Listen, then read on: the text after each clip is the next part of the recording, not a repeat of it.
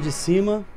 Hoje eu estou com um convidado muito querido, uma pessoa que eu já há muito tempo, desde o começo do podcast, que eu pensei um dia, um dia eu vou chamar o Padre Antônio, um dia eu vou conseguir, mas deixei correr um pouquinho para poder eu também pegar um pouco mais de segurança, mais de prática. E espero que vocês, desde já, estejam curtindo a ideia dessa conversa que nós vamos ter. Então, se você puder, curte o vídeo, se inscreve no canal e compartilha. Pega o linkzinho, joga no WhatsApp, divulga para poder a gente, para poder Deus fazer através desse podcast e alcançar o coração de outras pessoas, ok? Estou com o Padre Antônio Furtado. Como é que tá, Padre? Tudo bem? Graças a Deus, estou muito bem nesse tempo favorável da graça de Deus, tentando mudar um pouco mais. Sim, é, realmente, inclusive a gente estava falando um pouco antes aqui sobre uh, quaresma, o senhor falou um pouco de, de jejum, né? Eu vou chegar lá, eu até anotei isso que eu achei tão interessante, a gente estava na homilia da missa, você tinha mencionado sobre, sobre um jejum que o senhor estava tentando fazer. Vai conseguir, né? Oh. 40 dias. Eu fiquei pensando, será que são 40 dias sem comer mesmo? Não, tem um. Não, não, a gente sempre come no final do dia. Ah, depois das 18 das 18, horas. né? É. Não, porque ia ser... é um jejum à maneira bíblica, né? É. E esse jejum também é praticado seja pelos judeus, seja também pelos muçulmanos. No Ramadã, os muçulmanos também fazem durante o dia, se abstêm de alimento e à noite, né, no cair do sol, Sim. que é quando começa um outro dia, se encerra. Mas existem diversas formas de, de, de se fazer. Eu sempre fiquei muito assim, curioso, porque quando a gente estuda a vida dos santos, Sim. se fala muito do jejum dos santos, né? Que os santos jejuavam. Aliás, a igreja, até o Concílio Vaticano II, jejuava 40 dias. Todo mundo, inclusive os leigos. É, eu, a minha ideia de pensar não se come nem no final da tarde para a noite é que era uma coisa assim é, impossível para é, mim. Né? É impossível Faz o jejum durante o dia. Seria um atentado à vida. Alguém não aguentaria ninguém, nem mesmo Jesus. Aliás, Jesus sim, né? Mas humanamente falando, sim. eu creio que um ser humano, a gente sabe que depois dá, de né? sete dias não, não tem mais. Mas. Jesus fez 40 dias e 40 noites? Ou... A Bíblia diz isso, e diz que no final ele sentiu fome. Pois é, eu fico, caramba, então será que é possível para todo mundo? Então, Pedro, eu não posso dizer que ele não viveu os 40 dias sem comer nem beber, como o Evangelho diz.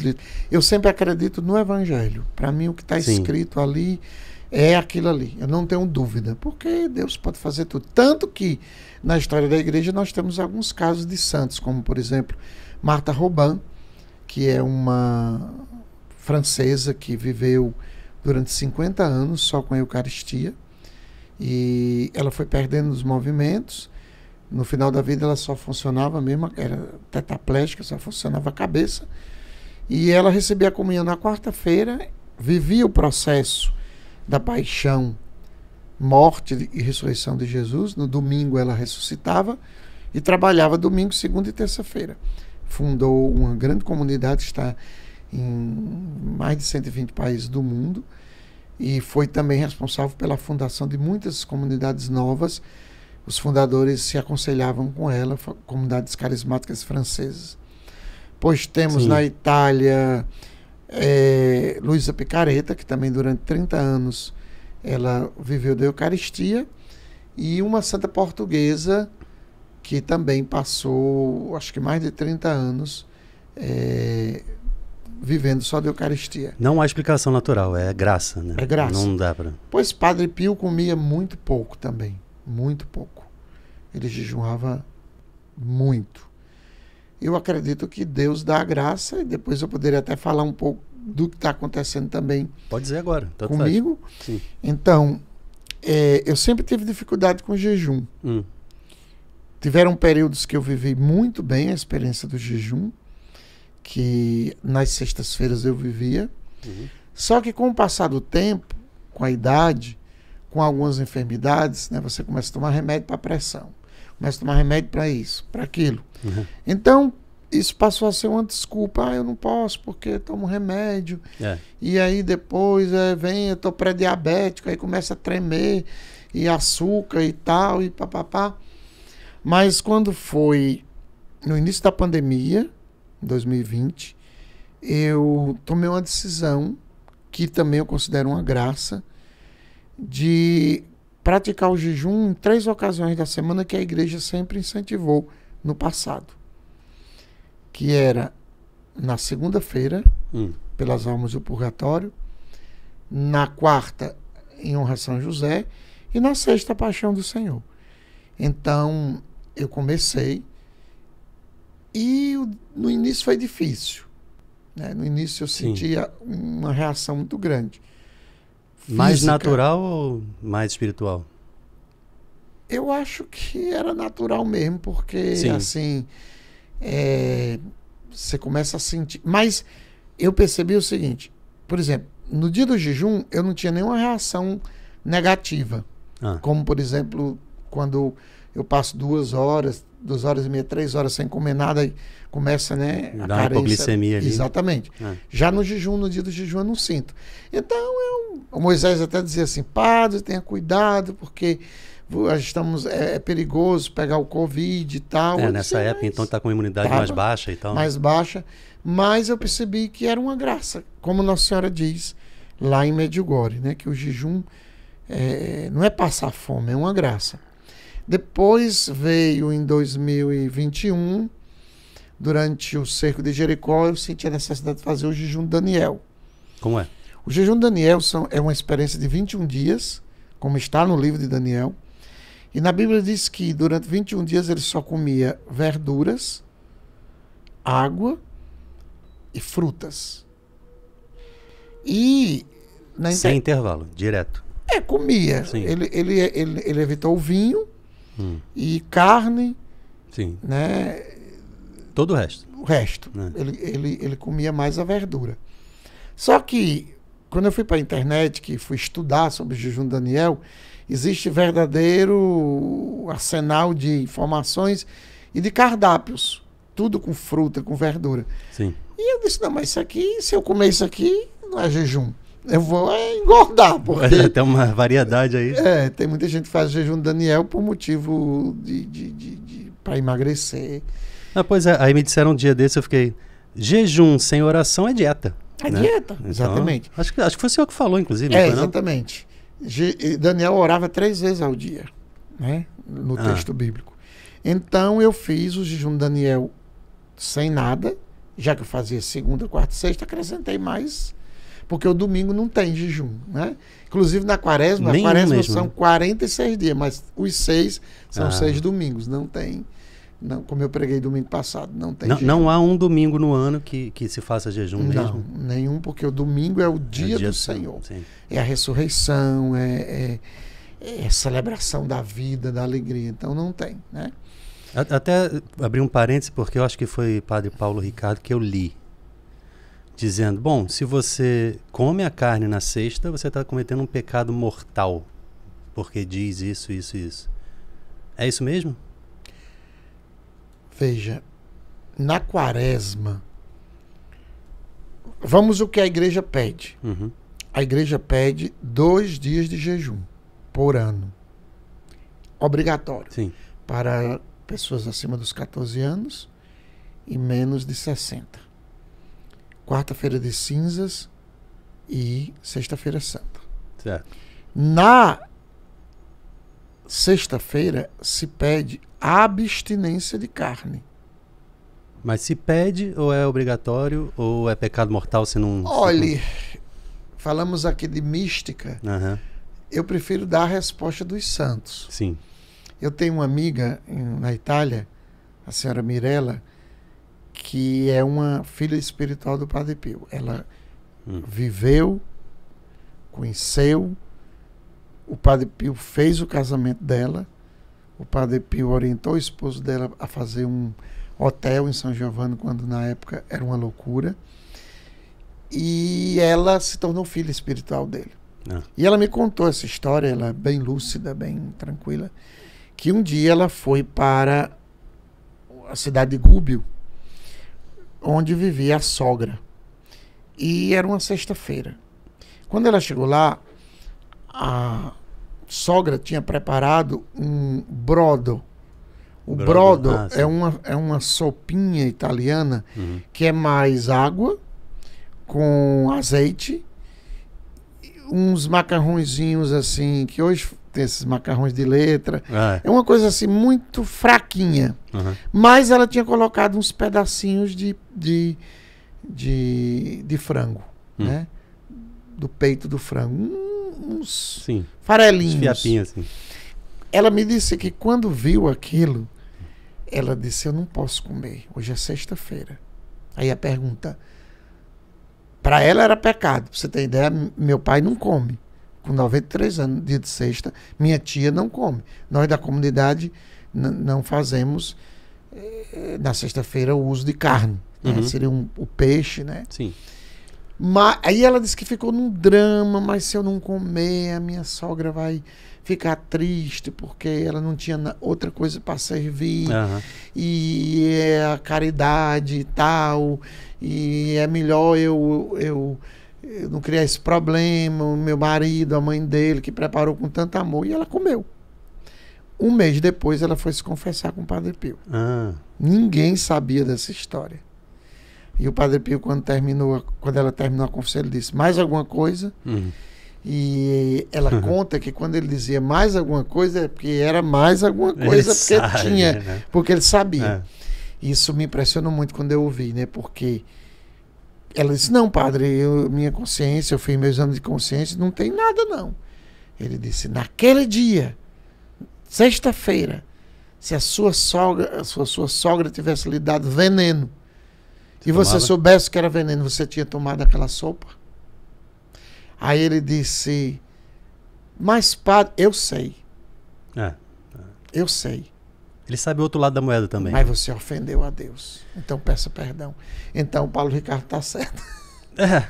Não, eu, eu, eu não discordo, eu, eu quero saber mesmo, porque é uma questão da gente pensar junto e, e analisar o que é né, o pensamento da. Porém, eu li ontem que São Francisco, no grande jejum da quaresma, que eram 40 dias mesmo, sem nada, só mesmo o pão uhum. e a uhum. água.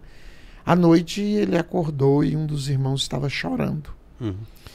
E ele foi lá e disse: O que está acontecendo, irmão? Eu disse: Eu estou com tanta fome, eu não aguento. São Francisco levantou-se, mandou preparar um frango. E para que os outros não condenassem o irmão, uhum. ele comeu junto com o irmão.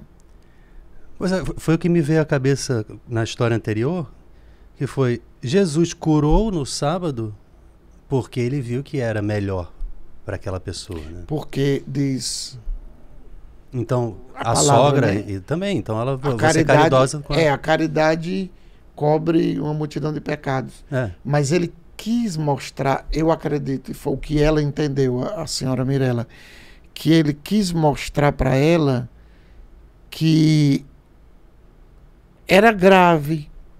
Exatamente isso, comer. Mesmo que se, ela não quis ofender a, a sogra, é. mas nós temos que amar a Deus acima de todas as coisas. Então, agora, quando se trata da saúde, por exemplo, uhum. ou da a idade avançada, ou uma carência, não é a questão de deixar de comer, é a questão de você, digamos assim, é, Isaías diz: o jejum que me agrada não é passar o dia coberto de cinzas, prostrado por terra.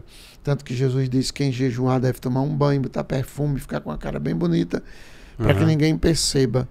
O jejum que me agrada é libertar o oprimido. Quer dizer, a igreja hoje orienta que a gente tenha também a dimensão da caridade. Não adianta eu não comer no almoço e comer no jantar a dimensão de, é. também de ofertar aquilo. É, é, justamente, é, você não vai super compensar aquilo que você não comeu de dia, você vai Exato, continuar exatamente. fazendo a medida correta, não é? Exatamente. Sim. Eu diria até que depois que você come, você precisa ter uma, uma força maior de jejuar, porque depois das seis horas que você come, a vontade é. O corpo passou o dia Já sem é nada. Aloprado. Então é querer ir além do que, do, do que se deve. E, mas o jejum é uma benção, é uma graça. Não, eu fico, fico feliz em, em poder ouvir né, e me instruir um pouco mais. Padre Pio era interessantíssimo. Eu, eu, eu, eu, só fui aprender mais depois daquele filme, que eu acho que é ótimo, né? E ele sabia. Você não confessou, não vai comungar. Ele sabia as coisas, né? Exatamente. Deus falava, mostrava as coisas para ele, né? E é interessante porque um dia um padre, Donelo, eu tenho inclusive uma estola desse Donelo, desse padre, que é um, um servo de Deus, né? Ele disse assim: Pio, eu poderia fazer igual você, mandar as pessoas embora, se levante e tal, que o Padre Pio às vezes, né? Era assim. Não dou absolvição. Sim. E, e ele disse: de jeito nenhum. Você não sabe o quanto me custa e o quanto eu sofro e o quanto eu, eu tenho que fazer para fazer isso. Porque era uma medicina, era uma, era uma forma dele chamar a atenção do pecador, mas que ele ele, digamos assim, ele pagava por aquilo para poder o outro voltar. E aí depois desse não. A pedagogia dele, né? A pedagogia. Ele disse: não, não lhe aconselho a fazer isso. Assim como a filha espiritual que ele deve ter chamado a atenção para dizer: bom, mas você não vá também agora se acostumar a, a abrir exceções. Né? Exatamente. Né? Tem outra da... história dela. Um dia a gente pode marcar aqui um, uma conversa só sobre o Padre Pio. Vamos, né? poxa. Eu Toda vez que muita quiser. gente aí que, que gosta do Padre Pio. E ela conta que ela não queria ser filha espiritual. Ah. Porque ela dizia: o padre é muito rígido, e com os filhos espirituais, ele é muito duro, e eu não quero, não quero, não quero. Aí, um dia ela estava se confessando com ele, ele disse assim: Até quando você vai resistir em ser minha filha? Uhum. Aí ela, mas padre, até quando você vai resistir? A partir de hoje você vai ser minha filha espiritual.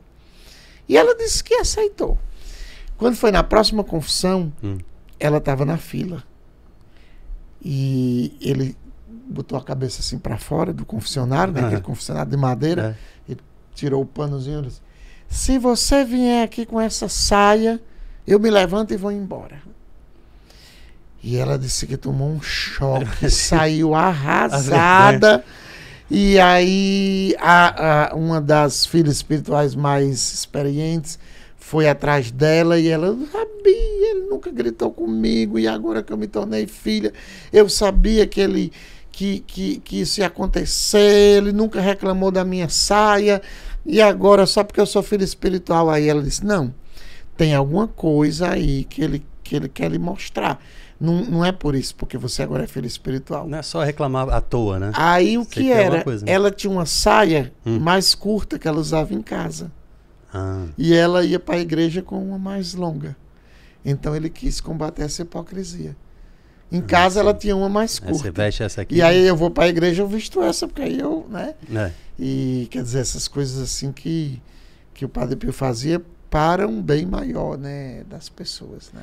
As suas homilias são as que eu mais consigo mergulhar e prestar atenção. Eu acho que é um a, a, a gente está numa era cada vez mais apressada e a gente tem cada vez menos paciência. A gente eu fico eu fico embasbacado, acho que esse é o nome correto. A gente põe áudio no WhatsApp 1.5, no YouTube 2, porque ninguém tem mais paciência de ouvir Exatamente. nada. Então, imagina homilia. As pessoas, ah, tá na hora da homilia, pega o celular, levanta, vai lá para trás, vai, vai. Mas a, as suas homilias eu tenho conseguido mergulhar muito. E eu acho que isso tem a ver com, com o seu dom de comunicação, né? Então passa ah, pela tua vocação, pelo teu chamado, estado de vida e a história como sacerdote dentro da comunidade na rádio. Então eu passo por um monte de coisa que eu queria falar aqui.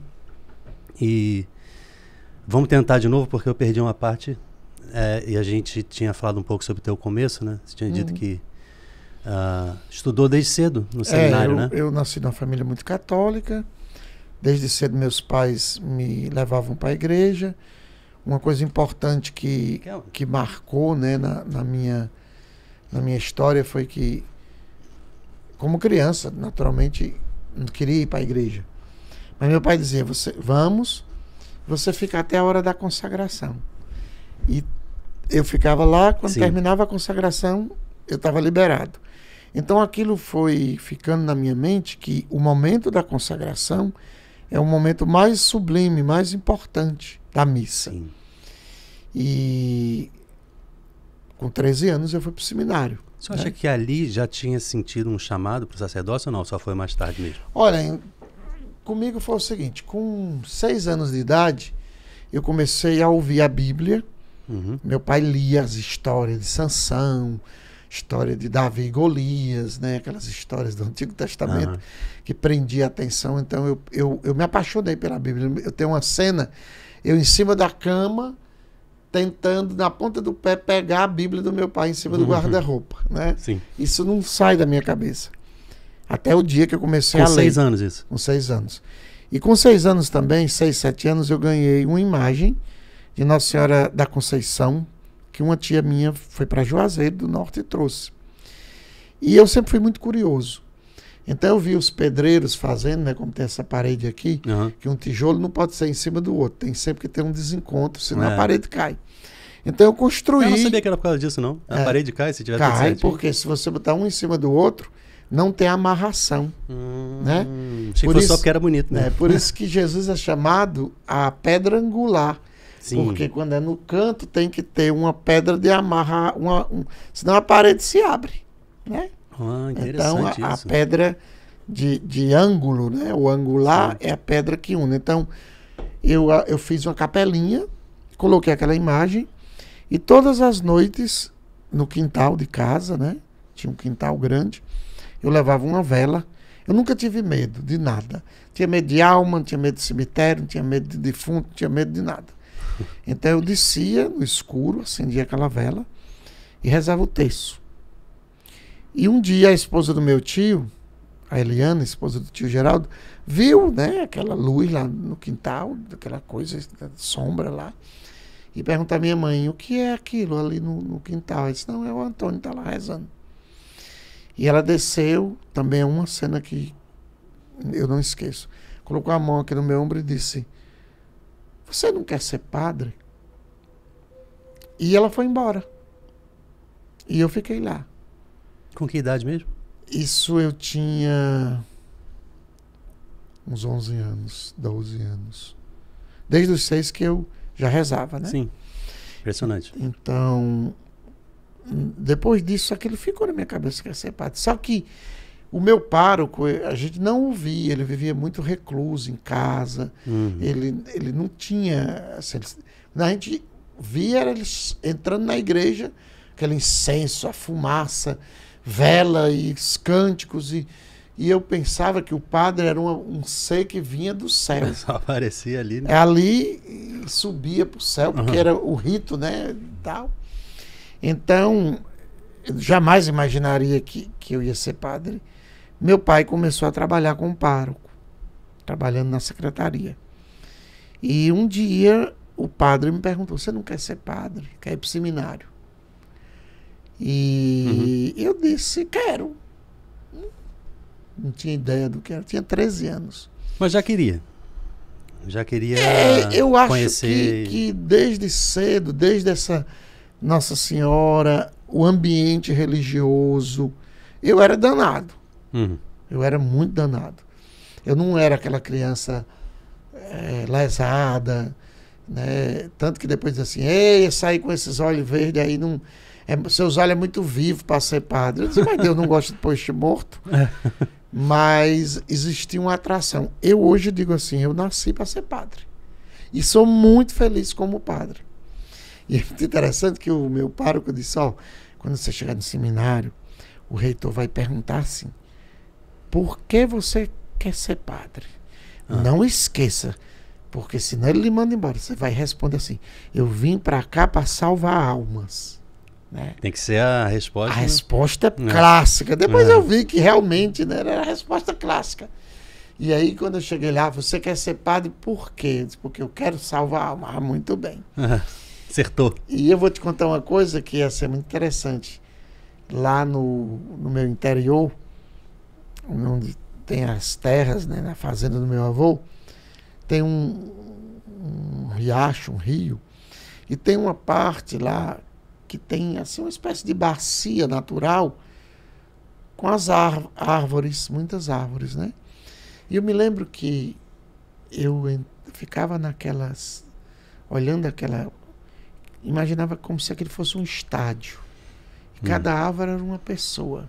Hum. E eu pregando para aquelas pessoas. Só que a minha maior tentação no seminário foi eu vou sair porque eu não vou ter coragem de fazer a homilia. Eu era muito tímido. Sério? Tímido, tímido, doente. Caramba, mas é outra coisa. Outra hoje. coisa. É. Eu, eu era muito tímido. Então, a ideia de que um dia, a primeira missa, como é que eu vou é, fazer a homilia diante da. Eu, eu tinha pavor. Quase que eu saí. meu Nem imaginar o negócio. Pois é, meu problema era esse. É. E, mas eu tinha aquele sonho, né? Então eu, eu subia numa pedra que, que tinha lá e ficava vendo aquela de longe, né? Tanto que quando eu fui no, no Queremos Deus, hum. no segundo Queremos Deus, eu já estava aqui e entrei no castelão e ajudei a oração lá no palco que eu vi, eu chorava como uma criança. Porque eu dizia, meu Deus, Deus realizou aquela fantasia que eu tinha né, de ver uma multidão, né, 120 mil pessoas na época, o Castelão lotado, cabia, né, não tinha cadeira em cima, e eu ali animando, então eu chorava de, de, de emoção de ver aquilo ali. E eu passei sete anos no seminário. Quando eu estava em Maceió, no ano propedêutico, eu conheci o Shalom. No, na, primeira, na segunda missão do Shalom, missão assim, de final de semana, de uma Sim. semana. A primeira missão do Shalom foi Salvador. No, não missão para ficar, mas de, de, de pregar para renovação. E eles estavam em Maceió pregando no mês de agosto. Mas você já era padre? Não. não. Ainda não. Então entrou no Shalom ainda não era? Não, não, não. Eu, eu, eu, eu tava, era 1987, eu estava no primeiro ano de filosofia, que chamava primeiro ano de, de, de propedêutico. Ah. Aí eu conheci o Moisés, conheci o Timbó, o Célio, o Zé Ricardo, é, e o Carmadélio. Em 87 já tinha Carmadélio também? Já tinha Carmadélio. Então eu conheci, eles passaram uma semana em Maceió. Ronaldo também? O Ronaldo veio depois. Eu ah, é? morei é? com o Ronaldo. Sim, eu, sei. Eu sei. Da outro, é, é, um, é, depois um pouco ainda, né? É, cronologicamente. Não, não, eu estou em 87. 90 mais ou menos, né? Mais um pouco. Assim, Ronaldo entra eu morei com o Ronaldo aqui em Fortaleza 91, 92. Sim, 91. É. Até a morte dele. Sim, 91, 92, 3, 4. Sim, até a morte dele 95. Pode voltar, só porque eu fico. Realmente é muita história. É, muita história. É. E então, quando foi no carnaval de 1988, eu ouvi uma profecia de uma religiosa que estava no núcleo da renovação de Maceió onde ficou claro que eu deveria deixar o seminário e vir numa loucura total atrás de um seminário carismático. Porque eu conheci a renovação carismática em 1984. Sim. Quando eu estava frequentando escondido uma igreja evangélica, Assembleia de Deus. Entrei no seminário com 13 anos com, em, em 1980. Em 83, escondido, eu comecei a frequentar uma igreja evangélica. Mas porque tinha alguma curiosidade, alguma dúvida? Ou... Algumas coisas me chamaram atenção, me chamavam atenção. A música, no uhum. seminário a gente vivia aquele coisa bem tradicional tal. A música não era forte na igreja católica naquela não, época. realmente. Né? É. É, eu me enamorei da filha do pastor, uhum. né? E comecei frequentando escondido, porque seria um absurdo. Mas minha mãe sabia e tinha uma raiva muito grande porque eh, o pastor me deixava ir. Mas quando a gente ia discutir doutrina, eu já conhecia muito a Bíblia. Você tem ideia, no seminário, o bispo me chamava. Eu, na quinta série, sexta série, para ir para a turma de terceiro ano, científico, que chamava. Sim, é. Para, é, Antônio, vem cá. Onde é que está na Bíblia a história de Susana? Do livro de Daniel, tal, capítulo tal. É porque esses Chico Tripa aqui, esses mané de coca não sabem de nada. Uhum. Olha o exemplo, eu, ele está na sexta série, na quinta série, sétima série, eu sabia de tudo. E ele dizia, até eu, bispo, não sei. Mas ele, então, eu ficava nessa discussão, mas me atraía o culto, a música do culto me atraía. É. Aquilo era uma coisa que me atraía. E foi quando, em 1984, eu conheci a renovação carismática numa vigília. que eu fui por acaso, pediram dois seminaristas para animar uma vigília. E quando eu cheguei na Catedral de Cajazeiras, né, que é onde era a diocese que eu estava, na Paraíba. Sim. Eu sou de Bonito Santa Fé, Paraíba. Ah, eu não sabia, Bonito achei que Santa fosse do Ceará Fé. mesmo. Não, minha família é cearense. Quem nasce em Bonito é lindo, né? e quando eu entrei naquela noite de vigília de Pentecostes, que eu vi as pessoas batendo palma, de braço erguido e orando em línguas, eu disse, pronto. O que é isso, né? Eu só via isso um pouco na igreja evangélica.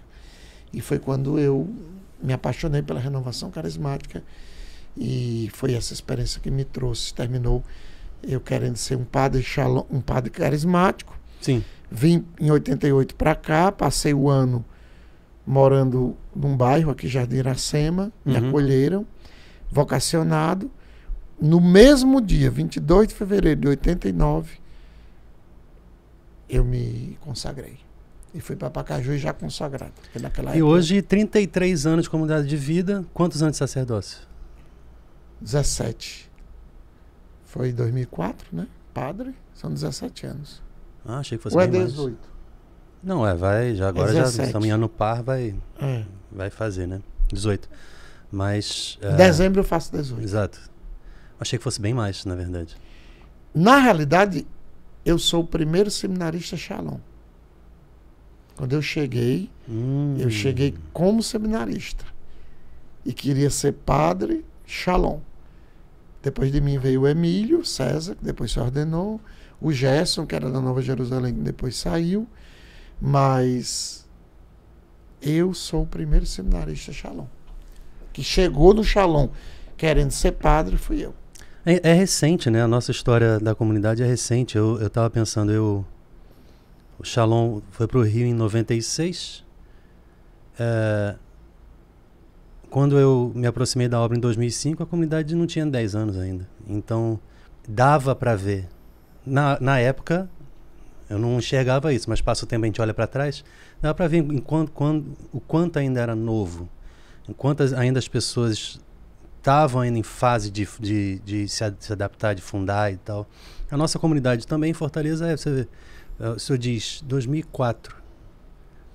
Se eu for pensar na história do Padre Antônio Furtado e tantas coisas que, que a gente sabe que o senhor viveu e a comunidade viveu junto, me parecia que era muito antes, entendeu? É. Mas na verdade é porque a gente vive muito intenso, Ao como todo seria 34 anos com o meu ano de, de 1988 aqui como vocacionado, né, do Shalom. Sim. Conheci em 87, mas eu me sinto próprio eh, no começo, né? eu fui o primeiro assalariado do Shalom. É mesmo? Foi, na lanchonete. Me lembro como hoje o Carmadelli fazia parte do, do financeiro. A Luísa Façanha, que já está com o Senhor, Sim. que entrou comigo na comunidade de vida, fazia parte também do financeiro. E o Carmadélio, quando eu cheguei aqui em 88, eu, quer dizer, eu não, eu não, eu vim, eu vim na fé eu, eu não conhecia Fortaleza, eu, não, eu, eu vim, eu pensei que. E eu lembro quando eu cheguei, era dia 22 de fevereiro de 88.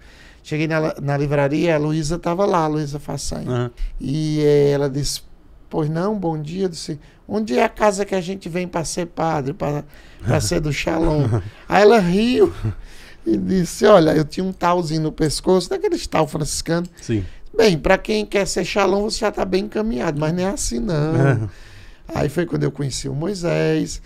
E na conversa do Moisés, porque eu cheguei sem eira nem beira.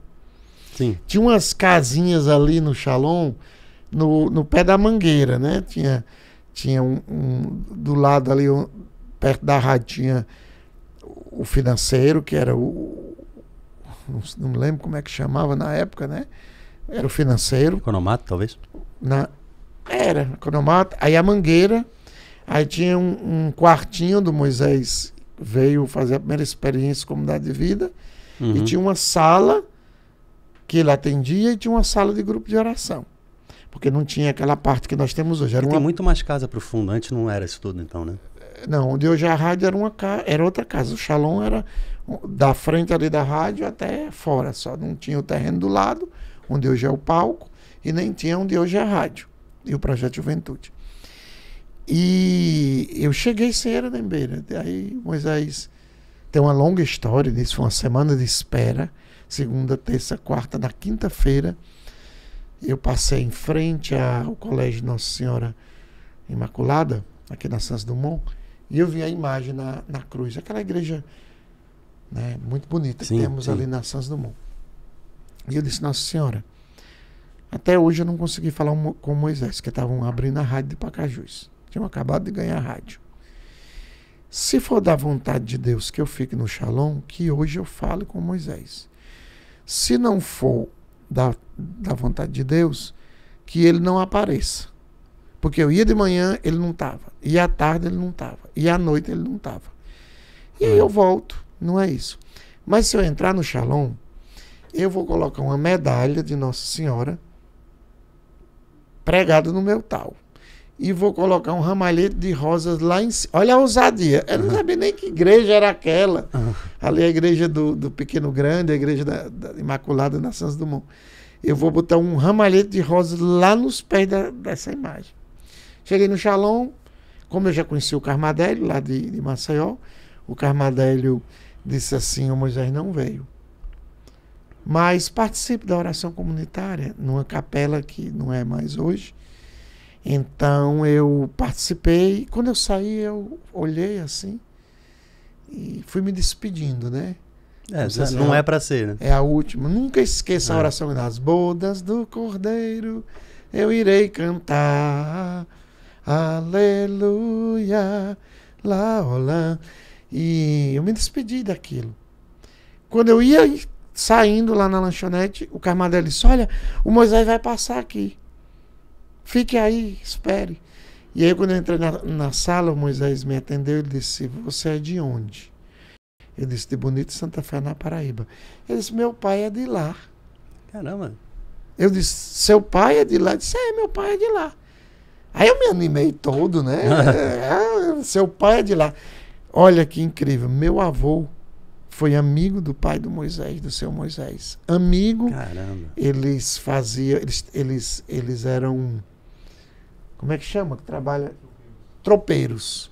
Eles iam para Juazeiro, para Mauriti, é... compravam as comidas e traziam para vender em Bonito, ah, de Santa sim, Fé. Sim. E um dos, tio, um dos meus tios, né, filho do meu avô, era afilhado do pai do Moisés. E a tia Naí foi amiga da minha avó. Quer dizer, Mas é pequena a cidade assim? Lá é pequena, bastante pequena. Ah. E... As pessoas todas se conhecem. É, mesmo. todo mundo se conhece. É. A, a, mãe dele veio de Brejo Santo, onde a minha avó chegou com nove anos, então elas se conheceram. E o meu avô, talvez até foi por, por essa amizade que terminou meu avô casando com a minha avó e o pai do Moisés casando com a tia Naí. Eram duas amigas ah, e dois sim, amigos. Né? Porque os dois. Aí ele juntos, olhou né? para mim e disse assim: venha passar uma semana na comunidade. Com uma semana eu fiquei um mês. No final do mês o conselho discerniu que era vontade de Deus, mas não era o tempo. Aí eu fui acolhido lá no Jardim Iracema. Passei um ano lá, foi quando veio o emprego. E o Carmadel disse: se você quiser trabalhar, mas eu não garanto que eu vou lhe pagar. Hum. Se no final do mês a lanchonete render muito, vender bastante, é, a gente lhe paga. Isso antes de estar na comunidade de vida? Não, antes, antes. Ah, sim, Quando terminou o mês, eu disse, aí, eu vou ganhar meu salário. Ele disse, não só um salário. Mas você vai ganhar um salário e mais 30%. Porque eu consegui, naquela época tinha uma, uma lanchonete aqui em Fortaleza chamada Dudu. Hum. E todo mundo ia comer o sanduíche do Dudu, porque era o famoso sanduíche. E o nosso sanduíche era bom, mas de manhã, de tarde e de noite eram equipes diferentes. Então, o gosto de manhã era um, de tarde ah, era outro, de noite um padrão, era outro. Né? Quando eu entrei, eu passei a trabalhar sozinho lá dentro. E eu nunca tinha nem visto um sanduíche na minha vida. Eu não sabia o que era um sanduíche. Sério? Porque eu passei no seminário trancado. Eu não tinha experiência com o mundo. Né? pode criar, quando foi sua conversão? Eu não, eu não, eu não tive uma experiência no mundo. Não, já foi sendo, né? Desde sempre, é, né? Desde cedo que, eh, quando eu estava dentro do seminário, eu estava trancado. E era um ambiente sadio, graças a Deus. Uhum. Quando eu estava fora, eu era mais vigiado do que. Então eu não tive a oportunidade de viver um mundão. Então me deram quatro dias para aprender a fazer sanduíche. Em quatro dias eu botei todo mundo para fora e comecei a fazer do meu jeito. Então, é, dia de quinta-feira o Nicodemos ia, fazia a carne, nós preparávamos os hambúrguer e tinha uns grupos de oração de tarde no Shalom. E eu comecei a fazer amizade, o pessoal da Granja Regina, o Luiz Matos, me, me dava umas bandejinhas de, de codorna.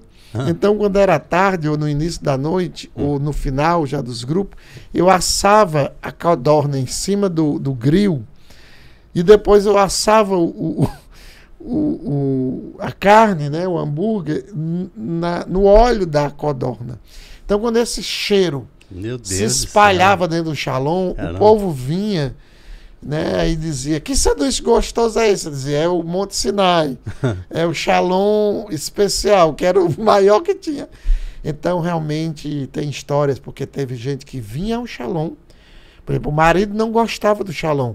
Mas a mulher levava o sanduíche. Eu não Fica era padre. Assim, Reza aí pelo, pelo sanduíche que eu vou levar pro meu filho. Reza aí por esse sanduíche que eu vou levar pro meu hum. marido. Aí a, a pessoa chegava em casa, ah, que sanduíche Sim. bom. Ah, vou conhecer o Antônio. Aí vinha.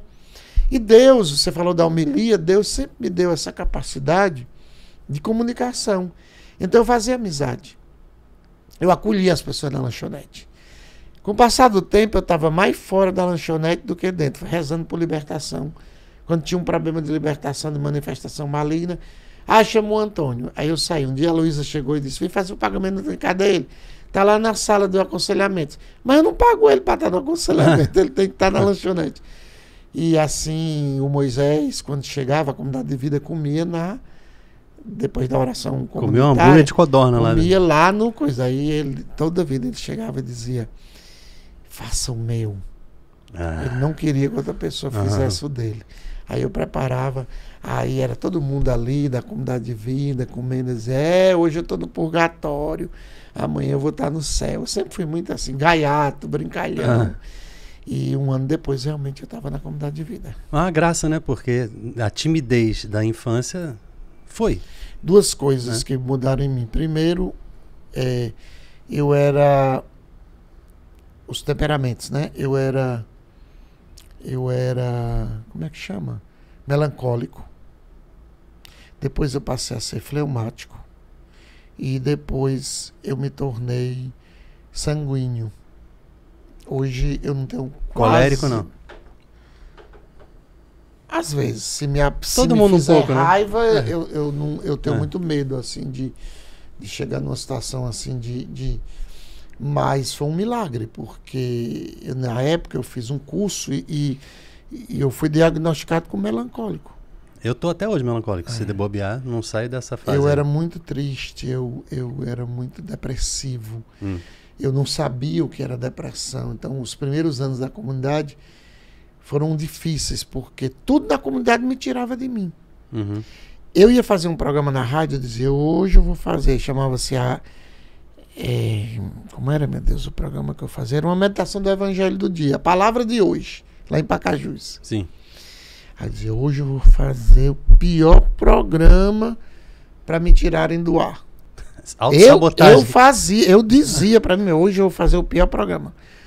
Era silêncio, naquele tempo o silêncio da manhã era muito mais rígido, mas a formadora, Jaqueline, deixava as pessoas assistirem na comunidade de vida a minha explicação do Evangelho. Então, quando eu dizia hoje eu vou fazer o pior programa, era o melhor. Eu mesmo, quando eu ia ouvir, dizia, mas o que foi que houve aqui? Parece que o Espírito Santo pegava aquilo tudo e, é. e, e fazia outra coisa. Aí era que o povo elogiava. Aí era, eu terminei fazendo esse programa e fazendo o Sertão do Meu Senhor, que era um programa no fim da tarde, assim, sertanejo. Sertanejo no sentido assim de, de música Luiz Gonzaga, tá num é, programa real, do né? campo. Original Ela é em Pacajus. Né? É. Mas é, eu, eu, voltando um pouco nessa história da música, a gente tem uma influência por causa da renovação carismática, que acho que iniciou no final dos anos 60, né? Se eu não me engano. 67. E os primeiros, me parece que os primeiros a despertar para a história, para essa esse movimento novo, né, do Espírito Santo, foram os evangélicos, os que mais rapidamente reagiram, né? E os católicos, me parece, pela história, pelo que contam, que demora, demoramos mais um pouco. Então, até hoje, você vai pensar 50 e não sei quantos anos, já estou fazendo as contas meio mal feitas aqui. 50 e pouco. É. Eu estava em Roma nos 50 anos da renovação. Foi pois 67. É. Ou é. seja, eu, quando eu completei 50 anos, celebrei os 50 anos da renovação. Pronto, então 50 e poucos anos. 53. Que nós somos influenciados de maneira positiva, porque eu acho que, que o Espírito Santo sopra onde quer. Pela música evangélica. Uh, por exemplo, Vencedores por Cristo. Grupo Logos. Tem, tem uma influência grande na música Shalom no começo, né? Isso. Eu não vou saber dizer todos porque não, eu não sou muito dessa idade, né? Mas e os católicos, uh, os focolares têm uma influência grande, influenciaram muito também na música Shalom. Mas eu lembro que na época do Vencedores por Cristo, eu criança no Rio, uh, meus pais e uns amigos faziam parte de uma comunidade lá, da comunidade Bom Pastor, que é em Copacabana, Isso. da Doris, que eu passei a infância lá. E tinha um grupo só maior, que, que era a minha mãe, o pessoal que fazia parte, o Bill Sala, que, que vocês moraram juntos aqui isso, no, em 90 isso. e pouco, na época do Ronaldo.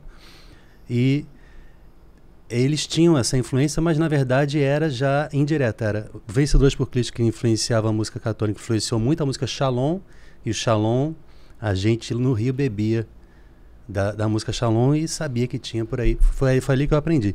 Mas por que, que eu estou dizendo isso tudo? Porque é, eu, quando vim a Fortaleza, já muito depois, em 2007, foi a primeira coisa que eu vi foi a missa de quinta-feira, sua Uhum. E na época do Aleluia, eu vim para o Aleluia, porque lá no Rio já servia na comunidade, é, desde sempre, no Ministério de Música, desde que entrei. E eu, esse ano eu vou para o Aleluia. Quando eu cheguei, estava indo a pé para o Salão da Paz, na quinta-feira, porque eu acho que foi o Bill mesmo que me levou e falou, na missa do Padre Antônio. Dois quarteirões antes já se ouvia a música. E já se ouvia né, tudo, né? Eu, eu, eu me lembro que eu estava assim. Quando eu cheguei, estava com o Santíssimo na mão. Eu estava gritando: abraça! Abra! Eu não estava entendendo o que é que estava acontecendo, só que eu vi um mar de gente. Era eu 5 mil pessoas, né? Naquela época, da... acho que depois até teve uma reclamação tiveram que diminuir um pouco a intensidade do som e de tudo mais. Uhum. Não teve uma coisa assim nessa é, época? Tivemos muitas perseguições, inclusive, nesse foi sentido. Mesmo? Foi. Mas a, a, missa de quinta é a mais conhecida e ainda existe e ela é super frequentada até hoje, né? Com certeza. Mesmo com pandemia, assim, teve um, uma pausa Nós aí. Nós paramos em 2020, mas eu fazia online. Foi o período mais difícil, assim, batendo palmas e tal, não tinha nem violão. Mas logo em seguida nós recomeçamos e mesmo nesse período, eu lembro a festa dos arcanjos do ano passado foi uma loucura, porque tivemos duas missas e duas missas superlotadas e foi uma confusão pro não tinha porque não espaço, pode, né? né? Não podia. Uhum. Agora que estão novamente abrindo. Uhum. Hoje a gente tem em torno de mil, mil e quinhentas pessoas, porque não, não é possível. Aos poucos estamos liberando um pouco. Eu mais. não sei em que altura que está a determinação do, do, do governador, mas me parece que pelos números nem vou falar muito de Covid, não, mas só uma informação. Já, já estamos a 90% menos, agora mais ainda, de, de, de menos casos né, de, de, infecção e de morte também, muito mais. É. Eu Mesmo soube assim, que ele liberou já pra... ao público. Eu já fui no estádio. Tem que andar de máscara na rua, eu não é. vejo sentido também nisso, mas é, fazer o quê? Vamos obedecer, né? Uhum. Mas, é, mas eu estava falando da música porque é, sempre, me, sempre ouvi dizer e me parecia que existia também pessoalmente assim, uma influência boa da música evangélica, porque ela é boa mesmo, sempre me influenciou também e, e a gente tem que, tem que beber do que é bom. Mas aí, se eu contando daquela época, que cedo já, uhum. já tinha ido, foi mais ou menos ali que você começou a, a, gostar, um, a, a gostar mais. Mas agora, a gente que tem tem católico que eu acho que é bom ouvir, por isso que eu estou puxando esse assunto. É, não tem problema ouvir música evangélica, né? Veja, o Moisés, nosso fundador, eu acredito que eu não conheço nenhuma pessoa tão sensata, Uhum. tão tranquilo como Moisés. Né? Você tocou um pouco no assunto do começo. Uhum. Quando a renovação carismática surge, em 1967, em 1976 ela chegou no Ceará. Hum.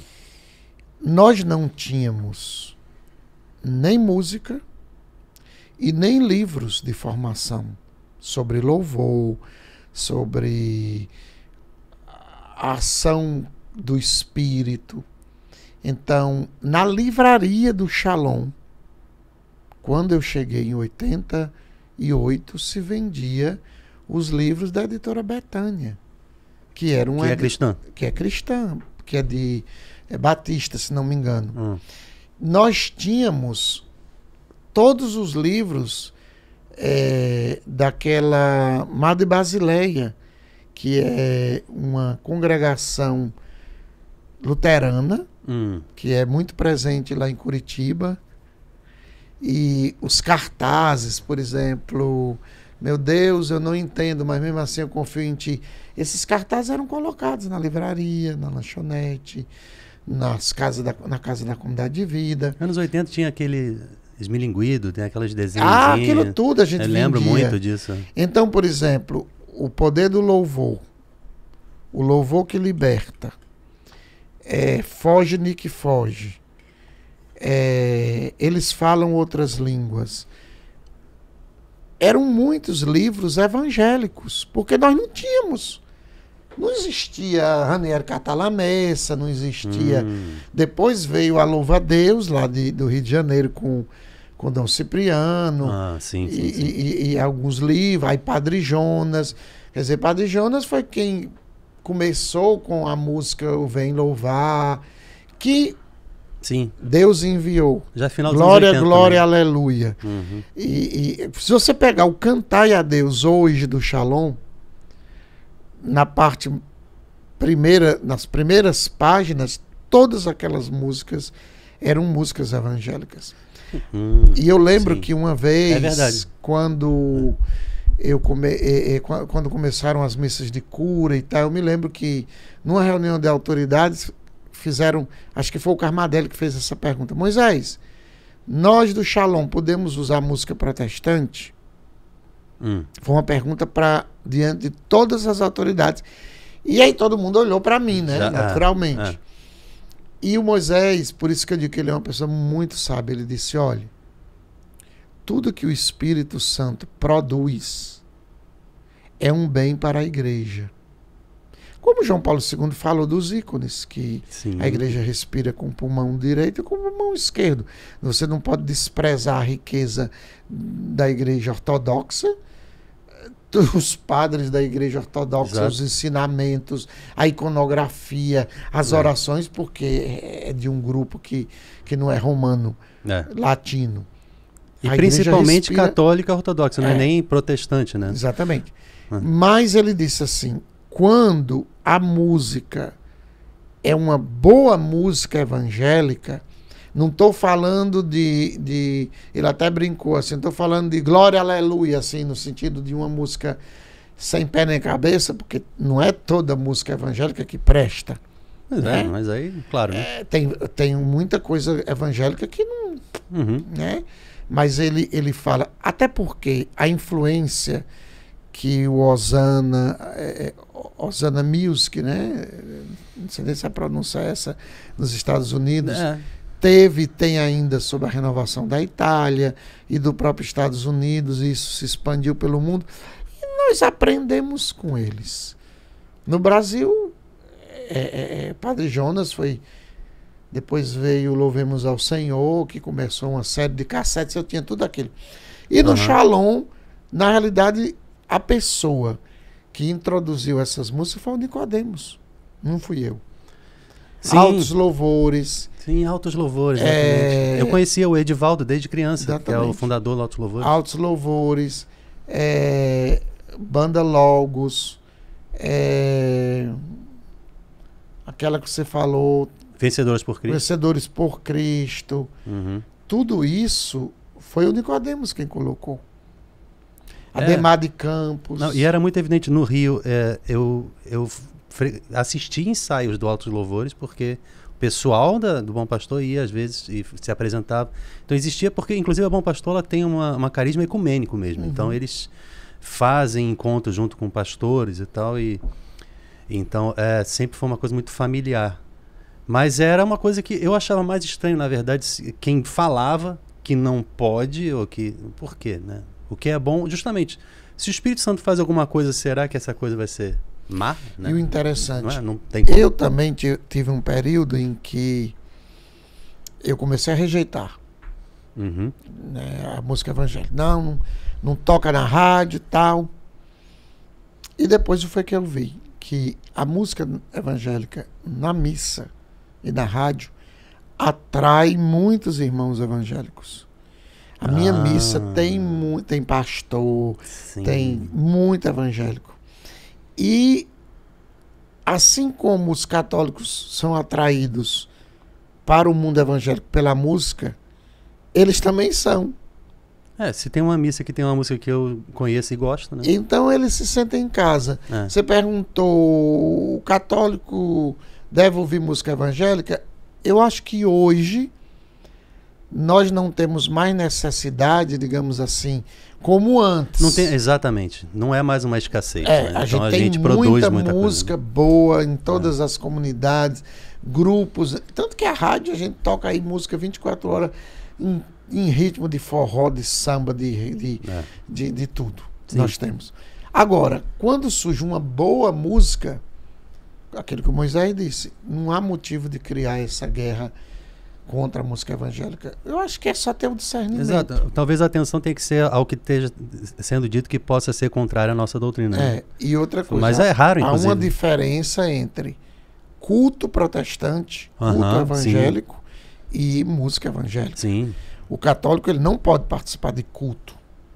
Ele não Nenhum. Pode. É Nenhum. Só, só o próprio. Ele né? não pode. É. Agora, se uma música tal, né? Graças a Deus o brasileiro eh, ele sabe assim juntar as coisas de modo que hoje é uma pena que nós não sabemos expandir as nossas músicas e colocá-las como eles sabem. É, você sabe é um que eu, eu, eu, acho eu, eu, eu tendo a criar uma linha de pensamento em relação a isso. É, nós católicos temos uma uma história milenar que é ótima mas que por um lado às vezes nos ingessa, porque a gente tem medo de transgredir, de pecar, de ser mal visto, de estar de tá fazendo errado, de se rebelar, de, de parecer protestante. De... Então, às vezes a gente fica engessado demais, enquanto que o que já, tá, já é protestante mesmo está livre nesse sentido. Então cria, desenvolve, erra bastante, mas depois vê que está errado e acerta e, e corrige. E aí acaba que por exemplo, nessa parte das artes, da música, a coisa vai longe. Então tem coisa que é ruim, como o senhor falou, né? Tem coisa que, não, isso aqui não, não vale a pena. Mas quantas coisas boas, porque eles estão mais livres nesse sentido, que eu acho que a gente também deve Sobretudo aprender. Sobretudo né? a música de inspiração bíblica. Uhum. Eu sinto falta, às vezes eu converso com ele, Fábio, já conversamos com, com o Gustavo do Missionário. Uhum. A primeira influência do Shalom foram as músicas da Bolívia é, era um Da La Mansion, né? né? Eu fui. É. 87, 88. Então essa é, teve uma influência muito grande essas músicas. Depois Aquele a Minuto congresso. de Deus, lá na, na. Minuto de Deus vem da Colômbia, né? Não sei. Bolívia e Colômbia. Você são... foi lá na La Mansion em 80 não, e poucos, não? Não. O Moisés foi, que você me lembra. É. O pessoal cantava alabarei, alabarei, batia a palma assim, ó. Alabarei. Eu, é. cara, eu alabarei, primeira vez que eu tinha ouvido. Alabarei. Essas músicas alabarei e outras é. mais que, que chegaram. E nós tínhamos o que se chamava de corinhos, né? Os corinhos. Então, a primeira fita cassete do Shalom foram músicas traduzidas do espanhol para o português, como aquela coisa nas bodas do Cordeiro. Hum eu irei cantar. Em meio às lutas, em meio às provas, caravana segue caminhando. Ou então, caminhando eu vou para Canaã. Uhum. Então, esses corinhos que era muito presente na igreja evangélica. Não sabia que era evangélico. Né? É animar. Alguns vieram da igreja evangélica, outros vieram dessa experiência de, uhum. de Bolívia, da experiência de, da Colômbia. E eles gostam muito. E nós perdemos, eu acho que a última música nesse estilo foi Alegria, Alegria. Uhum. Nós temos muitas músicas mas essa nesse é do estilo do Shalom. Ah, mas tem a influência o, total, né? A influência né? do estilo uhum. que eu digo Sim. que é a música cantada assim, ó. Uhum. Depois nós passamos a ter a influência com o Ronaldo da música dos Focolarinos, que é. Ah, já é menos intensa, né? É, não é o corinho, não é ah. o, aquela música de fogo, de né? batalha. Quem é esse tal, povo? Também, né? Que povo é esse e tal. Então a gente animava, eu tenho assim umas 50 músicas na minha cabeça cantando sem parar. Uhum. Aí depois veio a música, a música mais assim. Mais nós, oracional, menos é, intensa. Né? Nós éramos muito. A nossa música era muito de adoração. Na época que tinha recado, que era os ousados, né? Uhum. Que usava, na época, tinha preconceito com o, o atabaque, bateria. Então, ah, é a recado já. É, a recado fazia isso. A música a guitarra, né? Então a gente Exatamente. Tinha, tinha uma coisa. Eu ouvi dizer que, que não podia guitarra, não, bateria era, era, na, no salão, assim. Não, não, era uma, não tinha, mas, digamos assim, aquele estilo meio rock ah. era do diabo, né? Ah, Ou então o tambor sim. era do, Uma do candomblé, que... né? Aí existia o, o, o grão de trigo, que era uma comunidade sim. que aí era o coro, era o coral, era, era aquelas vozes. E nós tínhamos um festival de música no Shalom onde Sim. todos os anos, por sinal, eu participei, eu morando nessa comunidade de Jardim Iracema, concorremos né, nesse, nesse festival de música, eu cantando, imagine. Eu tenho um troféu desse antigo é. que o Bill me deu. Pois é, tinha o festival Metal, assim. de música é. e o Shalom, nós assim não éramos os melhores em arranjos como o grão de trigo, em música assim para o jovem hum. que era, uma, uma, era um pouco, né? Nós éramos a música de adoração, né? É, é, é a, a, a, música que leva à adoração, né? Que eu, hoje eu sinto falta daquela música para animar o grupo de oração. E às vezes eu uso na missa uma música evangélica porque nós não temos. Exato. Não, e eu acho que tem que ter, a gente tem que atender essas lacunas. A Sibeli, minha mulher, ela fala isso. Por que, que a gente não faz essas músicas para esse tempo litúrgico, esse salmo? Por que, que a gente nunca faz? Porque, justamente porque a gente fica só querendo repetir mais do mesmo, né? E hoje eu fica acho um excesso, que nós né? estamos né? numa fase, no Shalom, da música mais litúrgica. Você pode observar que a, a música, digamos, oficial, estão sendo o CD dos, dos 15 anos, é, o CD exato. dos 20 anos, CD é. dos 30 anos, CD dos 40 anos, que eu vou estar participando. Exatamente, né? exatamente. Gravou um trecho de relação é, eucarística.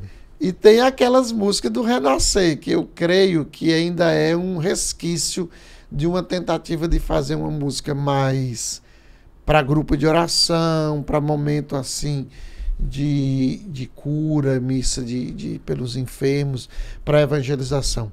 Porque a música para missa, ela é para missa. Não dá para você animar um grupo de oração é, cantando ressuscitou. É, assim, nem sempre, né? É, é uma coisa. Principalmente os momentos. E são momentos da missa. É. Cordeiro, Kyrie, Santo, é. não, são músicas para missa, assim, fazer, comunhão. Então. Né? Eu sinto falta e até peço né, que os novos né, compositores. A gente tem o Nicodemos que, que foi uma pessoa e é né, uma pessoa que colaborou muito com essa parte musical. É. Tanto introduzindo essas músicas, como eu falei, uhum. como também produzindo a Marte Mais. Pois é, para mim. Não passa. A primeira música que chegou para mim do Shalom foi a Marte Mais. É, né? A Marte Mais não passa, né? E, e, e, tem regravações em é. línguas diversas, é. o Amarte Mais. É, uma vez eu liguei numa rádio evangélica, estava tocando Com Tua Mão. no Rio. Eu, não, peraí, será que eu estou na rádio evangélica mesmo? Porque eu fui conferir e era. Então, a gente conseguiu ultrapassar uma barreira que, na verdade, sempre foi ao contrário, né? Exatamente. Com certas coisas assim, não, Nicodemos é uma... É porque é uma música ungida. É. E a música... Ainda hoje a gente anima uma missa com alegria, é, exato. alegria. Não, não abusa. Não sei, a mesma... Senhor é rei.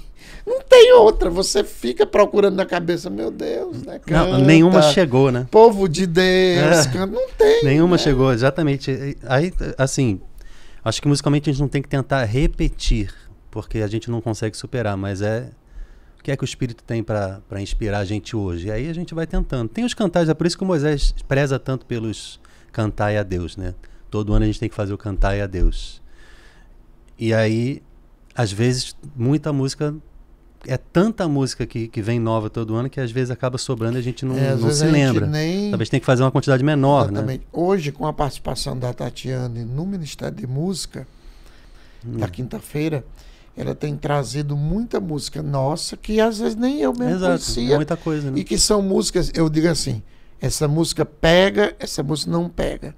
E eu era, o, o Nicodemos chegava e dizia assim, bota essa música para pegar. É. Porque quando eu queria claro. a música, o comunicador eu aí. levava para o Renascer, eu levava para o acampamento de uhum. jovens, eu levava para todo canto, para as missas e pegava. Podia ser o que for. Mas tem aquela música que pega mesmo, que fica, né? É, que marca a pessoa. E eu creio que a música querigmática foi exatamente o grande vilão, filão, o filão do, do, dos evangélicos é uma música que mexe com as pessoas, uhum. né, que toca as pessoas e nós precisaríamos e já muita gente tem trabalhado nesse sentido, né, no mundo católico. Eu vou eu vou aproveitar e falar uma coisa. Eu tive um, uma primeira vez a gente estava num evento na praia de Iracema, tinha um palco montado na areia, não lembro, acho que foi ano retrasado, antes da pandemia. E aí teve uma adoração e aí depois a gente foi tocar o Tão Sublime Sacramento. E a gente já não tem um costume de tocar coisa tão suavezinha e tal. Não sei se é porque o Moisés disse. Aí vai, a gente vai herdando essas informações e não sabe de onde veio. E aí chegou uma hora que a gente está tão sublime. Aí o senhor, sacramento. Eu, meu Deus do céu, também um susto. Um negócio assim. O que que tá acontecendo? Só que depois, aí nas missas eu fui percebendo também que que na elevação e, e nesses momentos o senhor perde um pouco mais de força. Agora, hoje em dia eu já As acho melhor. Eu vou da falar. Missa, Exato. Anunci... Como é? Como é? É. Receber a senhora. Não, né, né. É. não, e assim, o que a gente aprendeu é tem que tocar bem suave e as vozes têm que ser bem suaves. Eu não sei se quem pediu isso foi o Moisés, Eu acho que a suavidade não significa a música arrastada. Moleza, né? Porque você, vou estar é. lá santificar Senhor. É, exatamente, eu também acho. Hoje em dia eu já pode acho. É, é levar a música, é. né? É. Botar aquela, aquele refrão pra cima. Eu também. Eu tô, agora já realmente eu. Toda vida eu olho pra lá na missa de domingo, eu manifesta, na, na, enviai, Senhor, o vosso Espírito. Sei lá, uma coisa. É. Eu não gosto daquela coisa morta, acabada, né? Porque o Tão Sublime é uma música bonita. Mas é. se você se botar umas velhinhas um... para cantar, pelo amor de Deus, né? É, e a gente fica, às vezes, com a, na busca da suavidade, torna a celebração algo triste. E não é, porque é uma celebração. Né? Exatamente. Né? Então Exatamente. tem que ser sempre, tem que se lembrar. Inclusive mesmo nós na quaresma, que é um tempo de contrição e de, de algumas restrições, a gente não pode nunca esquecer que a gente já faz parte do Cristo ressuscitado. Então existe uma alegria que não, a gente não pode perder. Nunca, né? Exatamente. Eu vi a Amy falando isso, algo parecido, né? Na Assembleia. Foi ontem? Foi ontem. Foi ontem. É, que a gente, isso é gravado, mas foi ontem a Assembleia. E, e ela também falou. É, aí no canto de entrada ninguém batendo palma porque é quaresma. Aí ela ficou enfatizando um pouco isso, né? Por que não precisa? Nós somos uma comunidade de louvor. E outra e coisa, é. É, ela agiu certo porque há uma diferença entre a missa, que é um ato litúrgico oficial da igreja, de uma reunião. Uhum. Né? De uma reunião.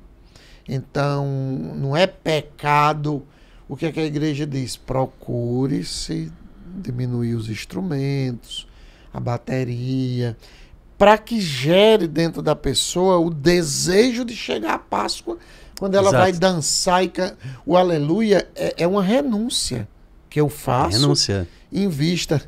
E isso é tão interessante. Quando eu fiz a cirurgia de, de tireoide, Uhum. um dos tratamentos eu tive que passar 15 dias sem comer sal, Hum. sem comer corante, sem nada de.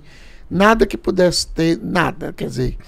E eu perguntei, mas doutor, pra quê? Por que, que eu não posso comer? Ele disse, porque o sal, ele tem o sódio. E quando for daqui a 15 dias, você vai tomar um, um- um- um remédio, que é o, o tratamento. Quando esse remédio entrar dentro de você, ele é a base, sei lá, posso estar dizendo uma besteira aqui, mas que eu entendi, Ah, que esse remédio ele é a base de sódio, sei lá do que. E, e se tiver alguma célula cancerígena no seu corpo, elas vão atrás, porque estão Ah, renunciaram 15 dias que Uma elas estão abstinência uma ali. abstinência, então elas vão e aí morrem. Então, o tempo da Entendi. quaresma é esse tempo em que tira-se as o flores, aleluia. tira o aleluia, tira o glória, tira uma bateria, deixa uma coisa. Mas não é o, o- enterro de Jesus. Não é luto. De forma nenhuma. Porque hoje existe uma tendência perigosa dentro da igreja. Uma é aquela do tradicionalismo. Né? Hoje, inclusive, muitos jovens é entender a liturgia, a missa é o sacrifício, é o sacrifício, é o calvário, é o calvário. Então, bota um lenço na cabeça, uma cruz na mão, e é ali com a cara feia, e não pode bater palma, e não pode levantar os braços, e não pode cantar. A outra é a bagunça. E tudo está no equilíbrio. Né? Então, a missa é sacrifício, a renovação do, do sacrifício do Calvário, com certeza. Com certeza. Uhum. Porém, o Calvário não termina no Calvário. A missa é a atualização do sacrifício, que é paixão, morte e ressurreição. Não, e a gente não estaria aqui celebrando a missa se ele não tivesse ressuscitado. Então É, não não ia adiantar sentido nada, né? Eu então não pode transformar parar to- no Calvário. Nem ela é só banquete, mas nem ela é só Exatamente. sacrifício. é. Ela é os dois. É o que São João Paulo II fala naquela, naquela carta dele da Eucaristia, né? que ela é banquete e ela é sacrifício. Os tradicionalistas querem que seja só é, é, Sacrifício. sacrifício. Os teologia da libertação, ou, ou mais assim, querem que ela seja. Acho que nós temos esse papel Só pão e vinho e festa também. Não pode ser gente também. entender É, que, que é os dois. é. né? Cristo é morto, né? E o próprio Padre Pio, na missa dele, ele, ele vivia isso. Tem um- eu tenho um, um livro que fala cada momento da missa vivido. O que é que ele vivia no, no ofertório, o que é que ele vivia durante. Mas depois ressuscita. Graças a Deus. É. Porque senão, Não vai ficar morrendo. senão é, É. não tem sentido ficar morrendo Se para Cristo sempre. não ressuscitasse, não É. ressuscitasse, vã nossa fé. Agora que a gente é, já avançou bem, eu, eu faço uma hora assim que eu fico com medo do tá povo. quanto tempo aí? Já tem uma horinha aqui. Mas eu não cheguei na parte que eu mais queria falar, que são as relíquias. Porque pra mim essa. Essa capela da relíquia aqui é relativamente nova, mas já existe um histórico seu de, de ter as relíquias e de colecionar e de arrumar. Eu queria que contasse um pouquinho. Como é que você foi arrumando as relíquias desde o começo, assim?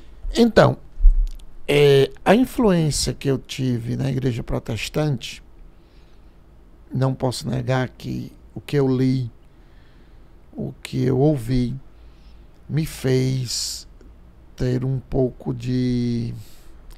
Eu não diria aversão, Hum, mas um pouco assim de frieza em relação tanto à Virgem Maria hum, como aos santos. sim. Então, um período que eu, assim, digamos assim, não, não valorizava. Quando eu fui para Roma estudar em 1989, 99, eu fui para o coração da cristandade, né, como se diz, né? sim. Roma dos santos e dos mártires. E ali, cada igreja de Roma é um santuário de um, de um santo, de mais de um. Não há uma igreja em Roma que não tenha uma relíquia. Exato. Às vezes o corpo inteiro. Às vezes o próprio santo. Né, que É. viveu ali, né? Exato. E tal, então você. E quando eu cheguei em Roma, eu encontrei na comunidade, eu sou, sou muito curioso, que eu amo livro, né? Por isso, quando eu cheguei, que eu vi sua biblioteca, É. já meus olhos. Pequenininho, tem mais em casa que É. eu trouxe um Até pedacinho. ganhei um livro, obrigado, né? Sobre o, os santos. Então eu peguei esse livro e esse livro falava da história da igreja, Uhum. do o endereço, naturalmente, tal, e o que tinha acontecido naquela igreja. E durante meu primeiro ano, eu tive muito tempo. Então, de manhã eu ia rezar nessas igrejas. De noite eu estudava, Uhum. tanto que eu conheço Roma com uma palma na mão.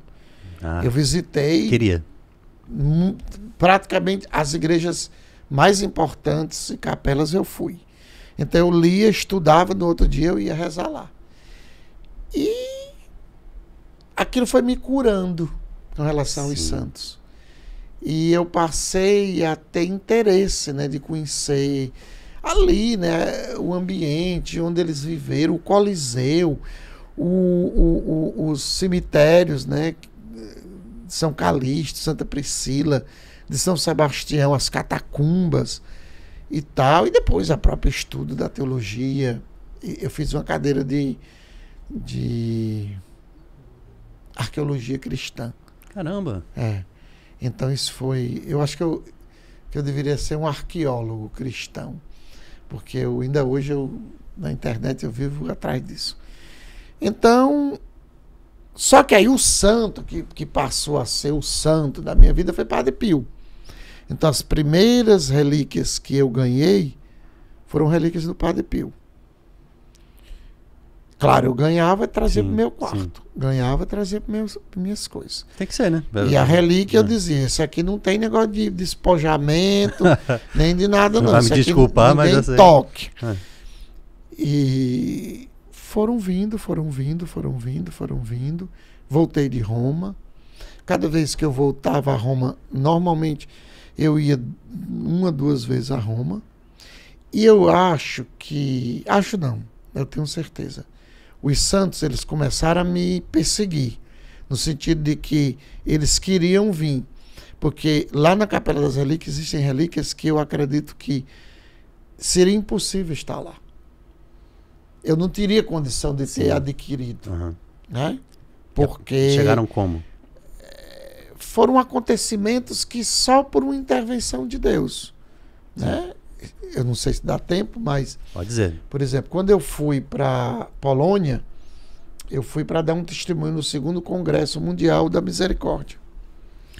E óbvio que eu queria a relíquia de Santa Faustina. Sim. Então, quando eu cheguei lá, quem estava coordenando o congresso era o, o cardeal de Viena, que é amigo do Shalom, né? O, o- agora fugiu o nome dele, o cardeal de Viena. Santa Faustina é a santa da minha célula, só falando pra fazer a propaganda aí. É. Então eu cheguei pro cardeal e disse assim, cardeal, ele é amigo do Shalom, né? Uhum. É, dê um jeito do senhor conseguir uma relíquia de Santa Faustina para eu levar. E ele disse, padre, as irmãs aqui são tão apegadas a essas relíquias de Santa Faustina que nem eu, como cardeal, consigo. E eu, com muita naturalidade, falando com, ele em italiano, tô com o nome dele na cabeça e não vem. Disse, não, senhor é um pouco vem. cardeal, tal. Aí ele disse, não, não, não, não, vou, nem tentar. Estava eu, Remilson, e um amigo meu de Recife, Josué. E à tarde desse dia, cada dia à tarde, a gente ia para um. A gente foi para o campo de concentração um dia. Outro dia. Ah, na Polônia. Da sim. Polônia, para Valdovice, para a terra de João Paulo II. Hum. Aí eu disse na hora do almoço, vamos, vamos pedir a relíquia. Eu não falava nada de, de inglês, nem de nada. O, o, o Remilson da comunidade né, que mora na diaconia Hum. sabia um pouco de inglês. E nós chegamos na, na recepção do, do, do convento. Tinha uma freira uma polonesa. É, elas não falam italiano, então não adianta. nada. É. Inglês muito pouco, pelo menos Sim. essa que estava lá. Aí tinha uma, uma janela assim, né? Como, com os- umas grades, hum. né? E a irmã, né, pois não, é, eu sou o padre Antônio, tal, do Brasil e tal. Eu, eu gostaria de falar com, com a pessoa responsável pelas relíquias de Santa Faustina, porque eu queria pedir uma relíquia. Aí ela, que as polonesas são bem, ela disse, não, não é possível. A madre é, é a única responsável, está completamente empenhada ela falando e o, o, menino traduzindo e tentando falar com ela, está totalmente empenhada no, no congresso e durante esse final de semana, ora, eu ia voltar no outro dia, durante esse final de semana não é possível é, nenhuma conversar com ela nem nada. Quando Sim. eu levantei a vista, tinha a imagem de São Miguel Arcanjo em cima do, uhum. dessa janela da recepção. Uhum. Aí o São Miguel Arcanjo defendendo no combate, eu fiz a oração de São Miguel, uhum. abra essa porta Santa Faustina, se você quiser ir comigo, vamos, dê um jeito.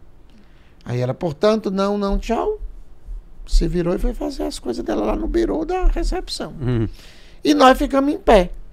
Os meninos, vamos, vamos. Disse, não, vou ficar aqui. Aí nós ficamos em pé, olhando para a freira. A gente aqui, a parede, né, a janela. E ela tentando. E ela, e, não, e ela lá. Uhum. 20 minutos depois ela olhou e disse: vocês estão aí? Vocês querem o quê? Aí eu, não, nós queremos só. Eu já disse, ela já estava uhum. meio irritada. Com certeza. Imagina a quantidade de gente que deve pedir isso também. É? Eu já, ela estava irritada. Uhum. Eu já disse que não é possível, não é possível. Aí eu disse, mas nós vamos ficar aqui esperando. eu não sei, eu não arranjei coragem para aquilo. Aí continuamos em pé. Aí eu não esqueço a cena, ela assim, olhou para a gente uma cara assim fechada, pegou o telefone. Madre. Não sei o que, não sei o que, não sei o que, não sei o que, não sei o que. Aí ela disse: Se vocês quiserem ficar aí meia hora, ela vai vir. Eu disse: Eu espero até a tarde toda. Nisso, uhum. infelizmente, a gente perdeu a visita a Vadovice nesse dia. Ah. Aí, meia hora depois, chegou a secretária é, mandou que a gente entrasse, perguntou do que se tratava. Eu falei, eu levei um notebookzinho, mostrei a festa da misericórdia, mostrei a rádio, mostrei as fotos de evento, de tudo. Ela ficou impressionada. E eu estava com um terçozinho na mão, um rosário, na realidade, daqueles que aqui no Brasil é muito comum, né? Que a gente vai.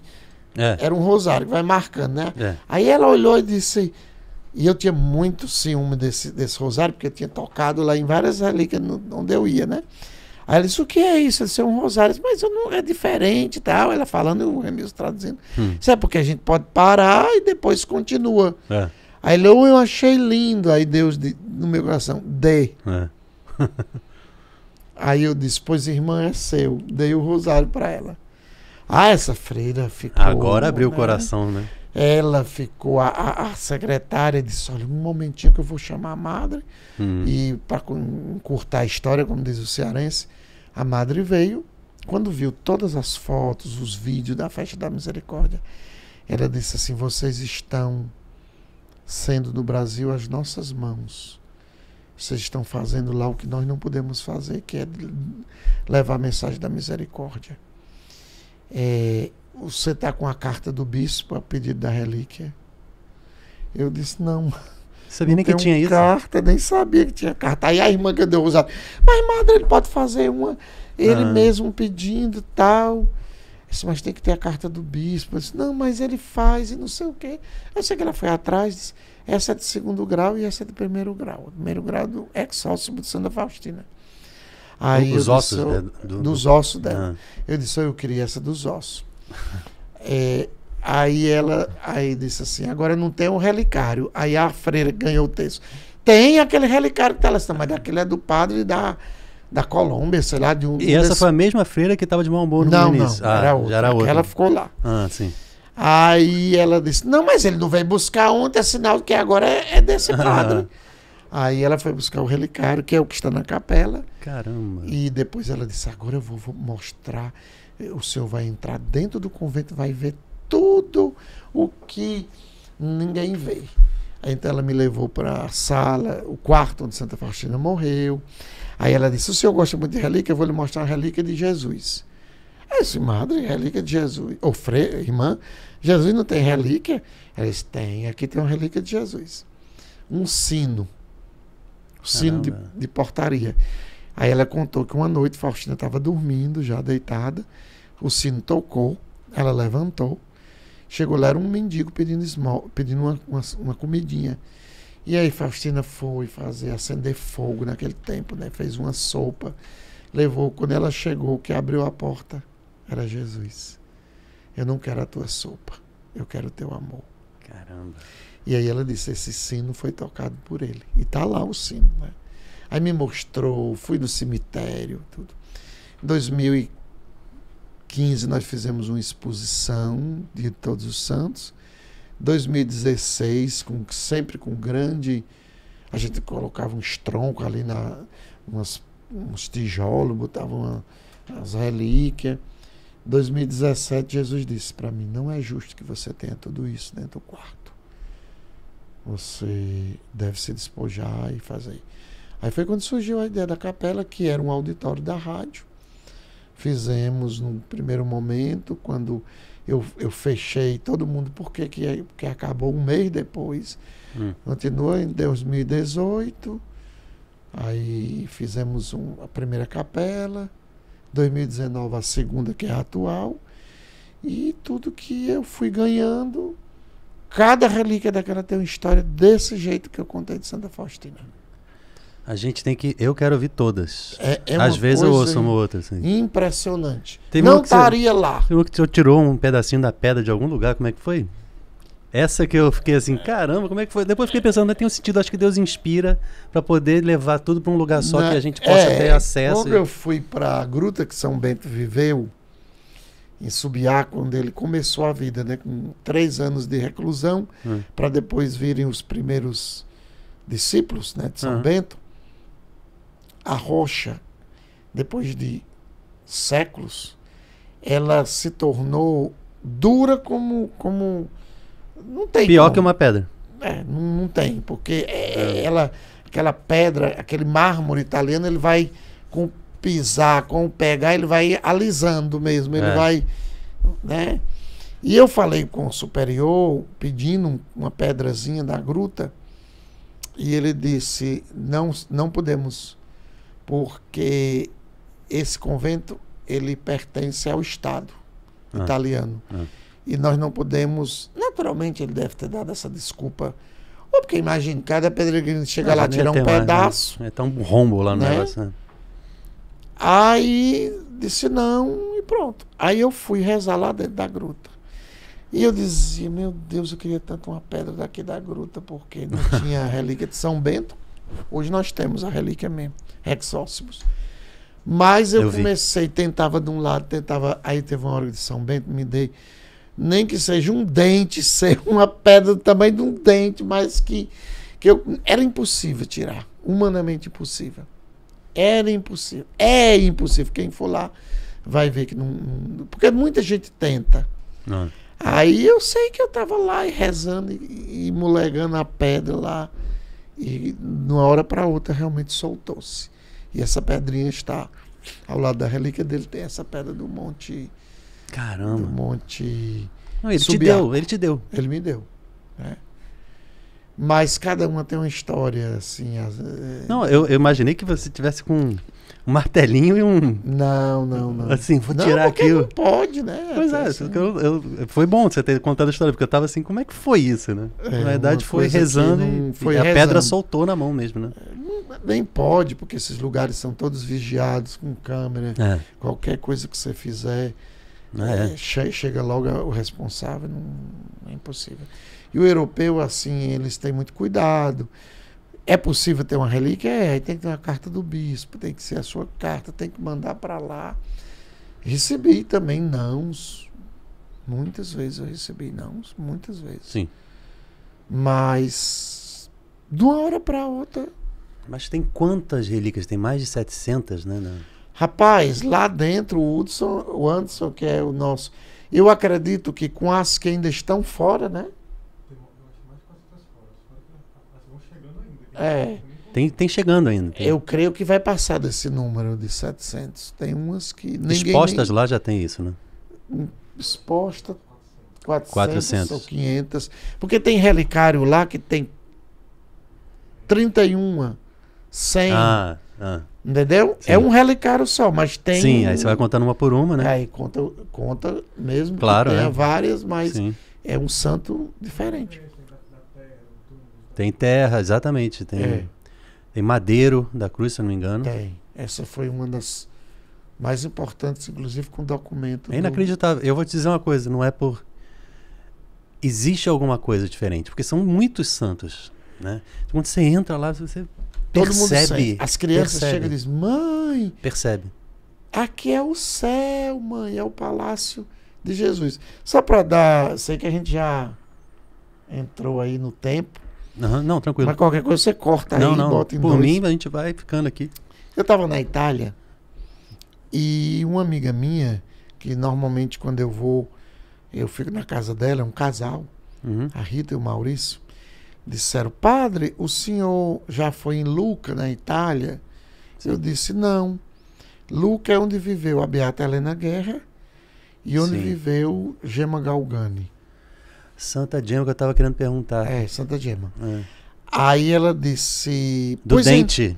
Do né? dente, você Do contou na homilia, né? Do São- dente. é, É, sim. eu gosto muito dela. É. Então ela disse: Padre, eu tenho uma amiga que o irmão dela entrou nos cartuchos, Ah, sim. que em italiano são na Uhum. Monges, certosa. né? Na certosa. E certosine são os, cart os cartuchos. Hum. E o que eu ouvi a vida toda e o que é, é que a cartucha, né? Os cartuchos são. É a ordem, uma das ordens mais rígidas, né? Tem Ah, os cistercienses e tem os cartuchos. Uhum. Eles vivem dentro, de- cada um tem sua casa, passa um pelo outro, só pode dizer, lembra-te da tua morte. E Bem restrito É uma mesmo. vez no ano, Bem que ele- rígido na mesmo. Páscoa, quer dizer, é uma coisa que, assim, São Bruno, né, o fundador. Aí ela disse que esse amigo dela, o Tobias, tinha entrado na, na cartucha de, de Lucas, de Luca, e que a irmã ia visitá-lo. E queria saber se eu não queria ir. Que aí a gente aproveitaria e iria visitar a casa onde viveu Santa Gema e, e o túmulo, e o convento também, e o corpo de, de Beata Helena Guerra. E fomos. Uhum. Rapaz, quando eu cheguei lá, sai o superior, né? Uhum. Eu não sei nem se tem. A minha amiga hoje está lá, a Rita está tá lá com ele. E esse monge, ele foi amigo do Padre Pio. E o Padre Pio profetizou que ele seria. é, Monge. que ele seria monge. Eles estão lá na, no, no na cartucha de é, Serra São Bruno, onde viveu São Bruno, o fundador, né? Sim. E eu acho que aqui é ele. Aqui ele. Dom Basílio.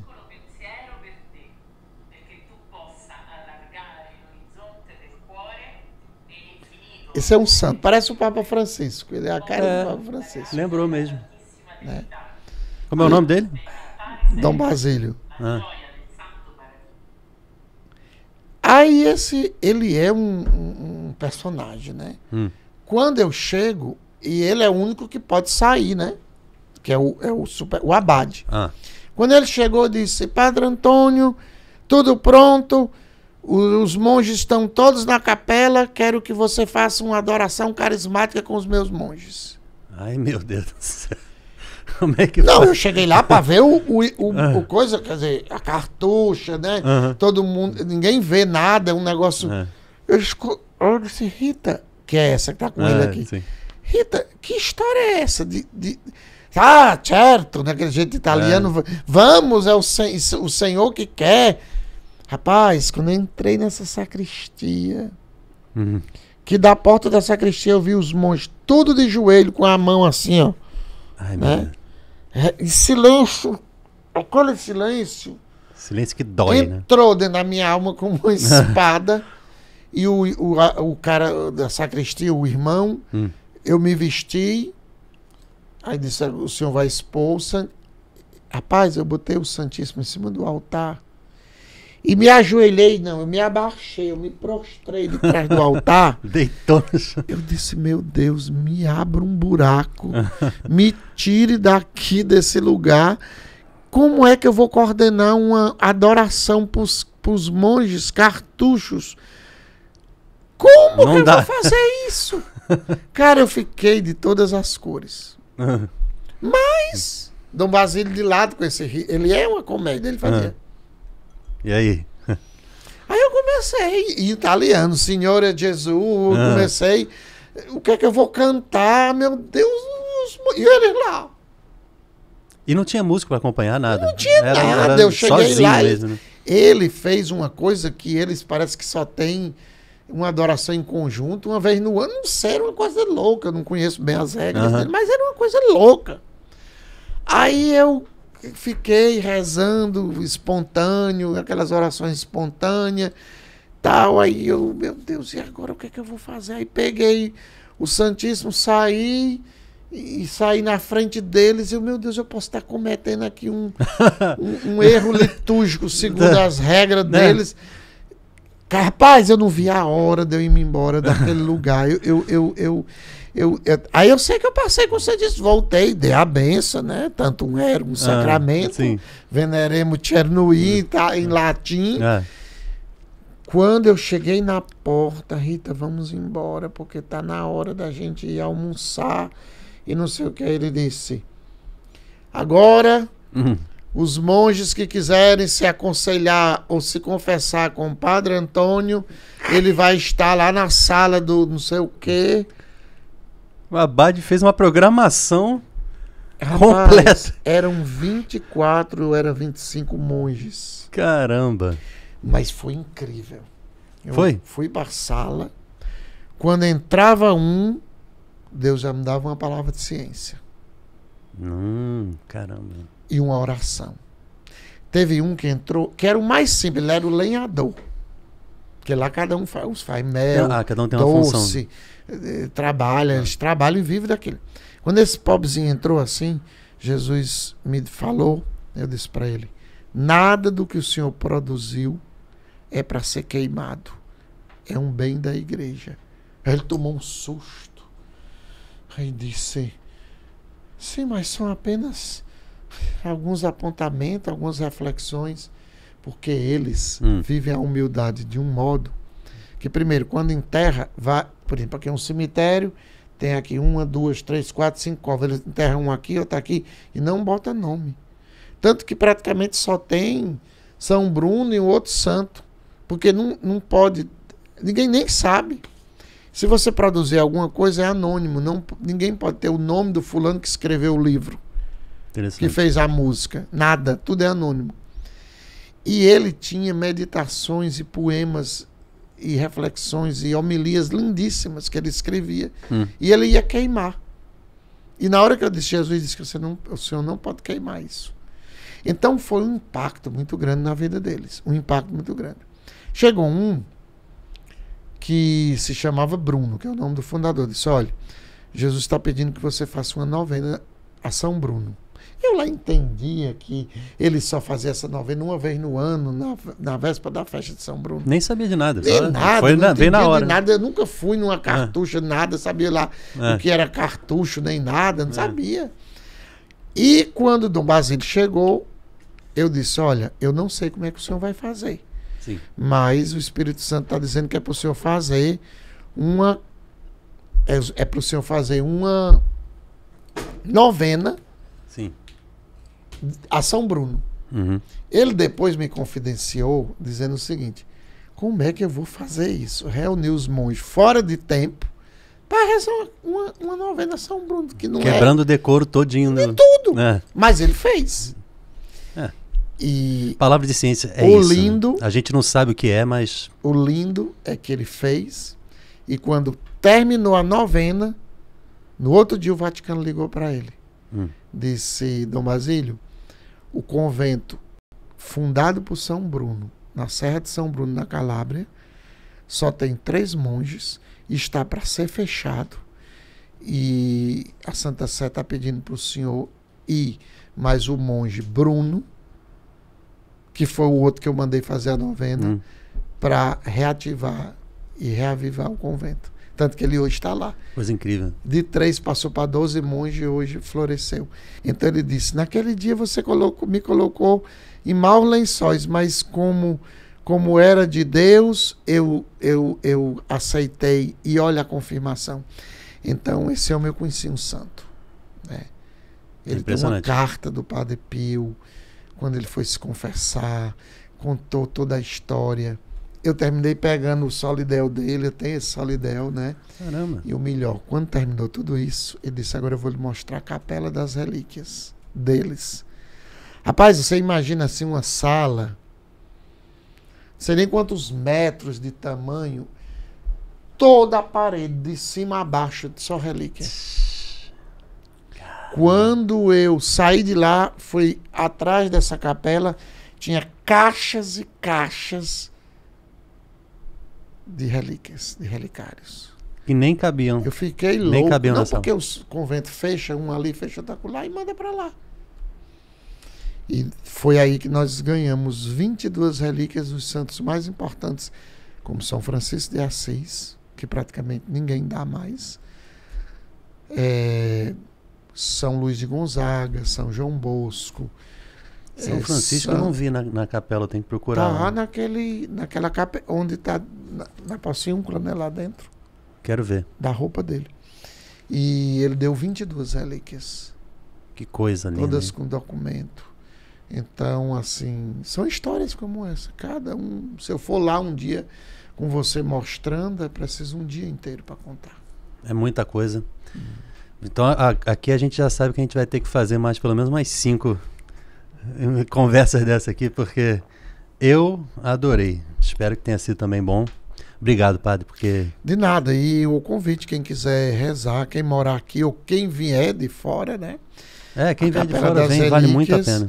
E no Brasil não existe algo público, aberto ao público dessa forma. Existem algumas relíquias em alguns conventos, em alguns lugares, mas eu acho que uma coisa assim aberta ao público e que tenha um impacto na vida das pessoas que entram e É. sentem um. O, o Shalom da Paz tem a capela 24 horas Isso. e a capela das relíquias está aberta até mais ou menos e que o meu horas? sonho. Está sempre aberta a capela das relíquias também ou não? Não, por enquanto, porque eu tenho um não sonho. tem quem cuide, né? Meu sonho seria a gente fazer o terço perpétuo. Hum. Seria ter sempre 24 horas, de 15 em 20 minutos, uma pessoa rezando o texto lá dentro. É o meu sonho. De ter as duas capelas abertas 24 horas. Por enquanto ela está aberta pela manhã e à tarde. Que já é uma e maravilha. algumas vezes à noite, dependendo, hoje mesmo estava tendo lá um grupo, Ah, sim. né? Mas eu queria que tivesse o texto perpétuo. É no tem- Shalom da Paz, na Maria Tomásia, em Fortaleza, que é a primeira casa da comunidade Shalom. Vale muito a pena visitar. Tá linda a Capela Nova, renovada, a Capela das Relíquias também lindíssima. Vale a pena vir. Uhum. Obrigado, Padre Antônio. Obrigado, Anderson, também por ter vindo. E espero que a gente possa, numa próxima vez, continuar aí. Tem muita história boa para contar. Com certeza, um abraço a todo mundo né, que ficou aí na escuta. E divulgue isso, vale a pena, né? Curtir e fazer chegar uma boa conversa a outras pessoas, né? A gente hoje precisa muito de boas conversas, de um podcast, né? É. Inclusive, eu vou pedir uma bênção sua pelo podcast e para quem estiver assistindo Com também. certeza. Então, você que está aí, saiba que a felicidade é Cristo, é amar a Jesus, é, é ser dele, né?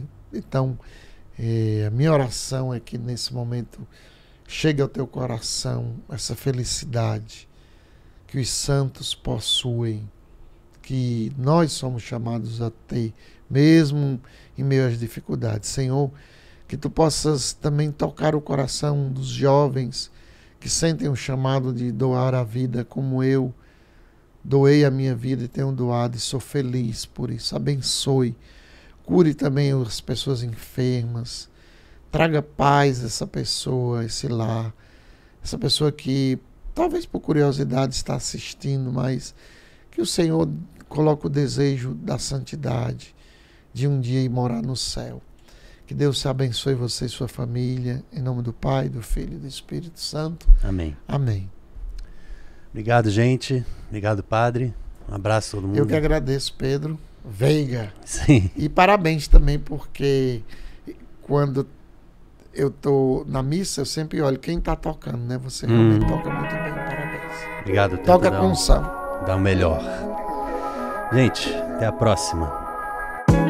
Bye.